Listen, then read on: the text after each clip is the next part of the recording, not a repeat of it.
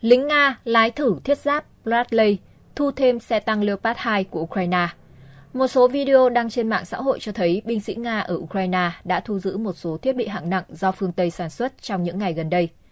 Các đoạn video cho thấy binh sĩ Nga lái chiếc xe chiến đấu bộ binh M2 Bradley do Mỹ sản xuất, cũng như tìm cách khởi động xe tăng Leopard 2 của Đức. Cả hai video đều được nhà báo Nga Vladimir Soloviev đăng trên kênh Telegram của ông hôm 7 tháng 12. Một video cho thấy một nhóm binh sĩ Nga đang tiếp cận một chiếc xe tăng Leopard 2A4. Những người lính nói về việc khởi động động cơ và đưa xe trở lại vị trí quân Nga. Lớp giáp dày của xe dường như không hề hấn gì, nhưng dường như xe Leopard này đã bị lực lượng Ukraine bỏ lại, không thể rõ thiệt hại của xe tăng. Trong đoạn video thứ hai, một chiếc xe chiến đấu bộ binh Bradley đang di chuyển trên con đường đất gần một khu định cư.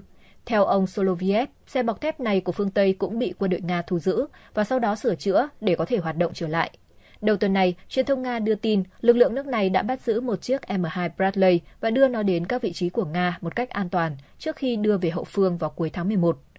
Theo báo AG của Nga, lực lượng Nga đã phá hủy hàng chục chiếc xe chiến đấu bộ binh do Mỹ sản xuất, nhưng hầu hết xác xe đã bị bỏ lại trên chiến trường. Chiếc xe bọc thép Bradley bị thu giữ vào tháng trước là một chiếc đầu tiên rơi vào tay quân đội Nga, tương đối nguyên vẹn.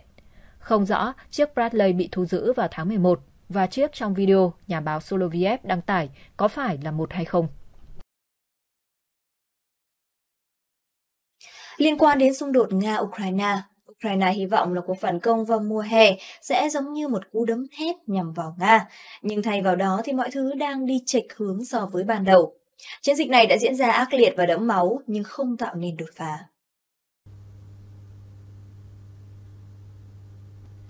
Kể từ tháng 6, Kiev đã tiến hành cuộc phản công vào Nga, trì hoãn so với kế hoạch ban đầu vài tháng.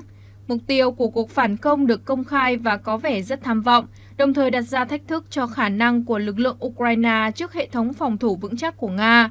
Tuy nhiên, kế hoạch này đã không thành công. Sau 6 tháng, Ukraine vẫn chưa đạt được kết quả mong muốn về lãnh thổ. Ngay cả các quan chức Ukraine cũng thừa nhận rằng Kiev khó có khả năng thực hiện điều đó. Cuộc phản công của Ukraine vào thời điểm này có thể coi là đã kết thúc. Theo các nhà quan sát, các vấn đề rất phức tạp. Ukraine và phương Tây đã trang bị cho hầu hết các binh lính thiếu kinh nghiệm vũ khí mới, đồng thời thay đổi đáng kể cách thức chiến đấu.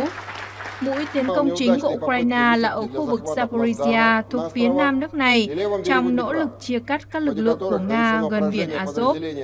Ngoài ra, Ukraine cũng tiến hành phản công theo các trục khác ở phía đông theo hướng Donetsk, và Bakhmut. Gần đây, Ukraine đã thiết lập vị trí trên bờ đông sông Dnipro.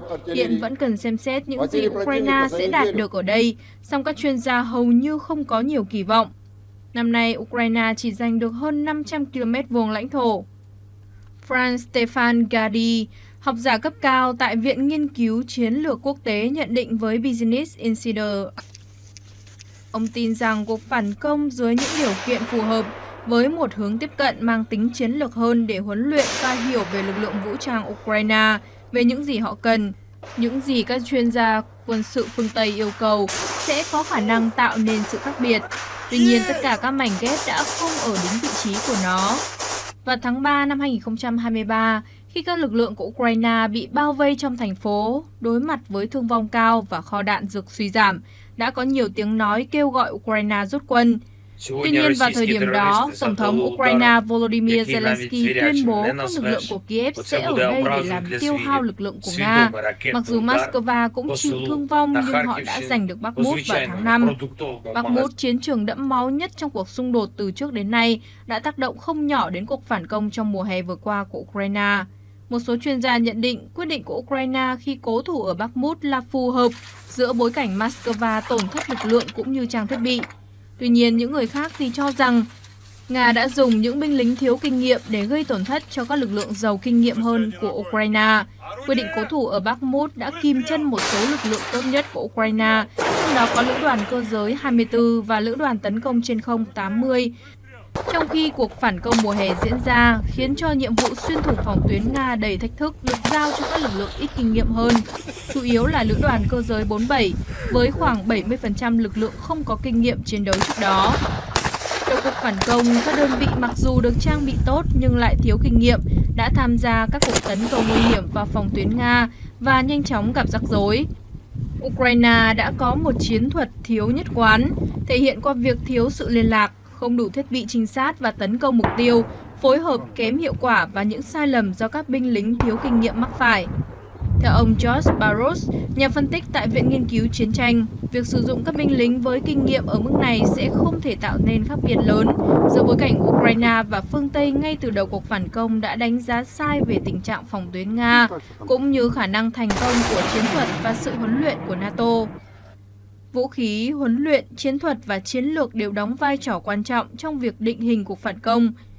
Về sự hỗ trợ của Mỹ, Ukraine gần đây chỉ nhận được các xe tăng M1 Abrams và hệ thống tên lửa chiến thuật lục quân, trong khi việc huấn luyện sử dụng tiêm kích F-16 chỉ mới bắt đầu và Kiev chưa thể nhận được máy bay chiến đấu này cho tới năm sau.